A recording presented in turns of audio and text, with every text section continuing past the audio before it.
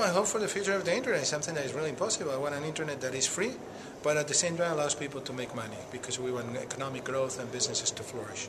I want an internet that is absolutely open for creativity and publishing content, and yet absolutely safe and uh, protecting privacy.